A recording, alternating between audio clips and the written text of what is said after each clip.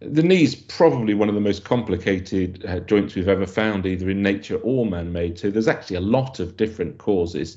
But in groups of it, uh, it can be because the knee's overloaded, the knee's worn out, uh, there's damage to soft tissues in and around the knee, or there's been some trauma to the knee. In terms of seeking advice, uh, it's fine if you've had a day or two of pain to just rest it, try some anti inflammatories, and try some ice. If after that that pain isn't settling down well, uh, then it may be time to seek some medical advice. In terms of more chronic pains, if you're getting pain that's interfering with activities of daily life, getting pain that isn't well controlled with painkillers, and certainly if you're getting to the point that you're having pain at rest or pain at night time, you should come and see a knee specialist and see what could be done. The most important uh, aspect in terms of diagnosing knee pain is a knee surgeon or knee expert asking you questions. So the history, as we call it in medical terms, we can actually get around 70% or so of the diagnosis just from that. A careful examination is really important, and uh, the surgeon should spend several minutes looking at your knee in great detail.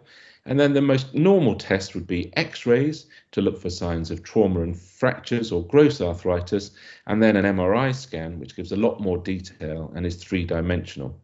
With an MRI, we can see arthritis, we can see damage to meniscus, tendons, ligaments. Uh, we can even have some sort of an idea about quality of bone and inflamed soft tissues around the knee as well.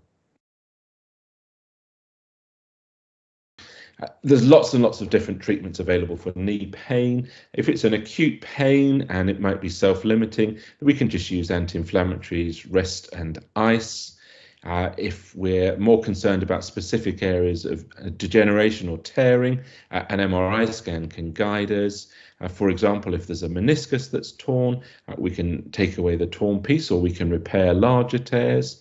If an anterior cruciate ligament is damaged, we can reconstruct it. And then for osteoarthritis, the mainstays are either conservative injections and operations. Uh, conservative treatments may involve weight loss or physiotherapy to change the forces around the knee. There's a variety of different injections uh, which can reduce inflammatory uh, episodes of pain and in some cases can produce months of relief. And then there's joint replacement options. Uh, part of the knee can be replaced if there's only one of the compartments worn if there's more than one of the three compartments of the knee worn out, then we can do a total knee replacement. In my case, that would be aided by a robot, uh, so we can get a really accurate reconstruction and we can get all of the soft tissues in your knee working in concert with the new implant. Uh, you can do quite a lot to help with your own knee. Uh, it can be really useful if you just try and take some time to figure out the triggers for your knee pain. If, for example, you're doing well with low impact sports and high impact sports are making your knee very painful, it might be an opportunity to review how much high impact sport you're doing. Uh, if your knees aren't well balanced, uh, it can be very helpful to change that, either with a personal trainer, a physiotherapist, or yourself at the gym. A lot of people, for example, have got slightly weaker quadriceps than hamstrings and slightly tighter hamstrings and quadriceps. If we can reverse that balance, we can get rid of a lot of knee pain, particularly pains in and around the front of your knee and your kneecap.